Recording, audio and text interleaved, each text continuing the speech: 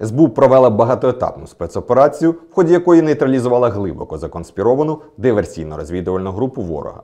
Агенти Генштабу Збройних сил РФ готували теракт. Планували збити пасажирський літак над територією Росії чи Білорусі. У атаці на повітряне судно окупанти планували безпідставно звинуватити Україну та наших партнерів. Для вчинення провокацій зловмисники хотіли обстріляти цивільний борт з переносного зенітно-ракетного комплексу Стінгер. Щоб викрасти і приховано вивести за кордон іноземний ПЗРК, представники спецслужб країни-агресора дали відповідне завдання своїй агентурній групі. До складу ворожої ДРГ входило двоє осіб із подвійним громадянством, а також завербований ними спільник. Їх діяльність координував росіянин Олександр Тютерев. Він є кадровим співробітником головного управління Генштабу Збройних сил РФ і має позивний Марпех. Встановлено, що раніше він брав участь в організації серії терактів в Одеській області, за що перебуває у розшуку.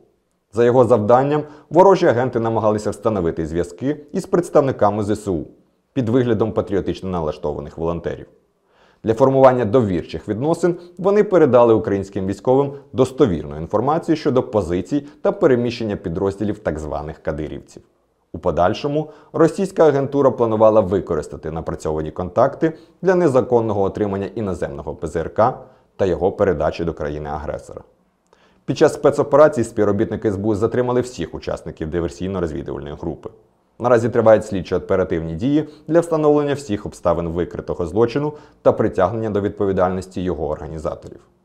Одночасно з викриттям зазначених злочинних планів СБУ викрила факти, які засвідчують суттєвий рівень деградації розвідслужб РФ. Серед іншого, вдалося встановити, що Марпєх брехав своєму керівництву про успіхи в Україні і давав підконтрольній йому ДРГ завдання щодо фальсифікації теракту в тилу України. Зокрема, вони готували постановочні фото та відеоматеріали про нібито напад на блокпост сил тероборони.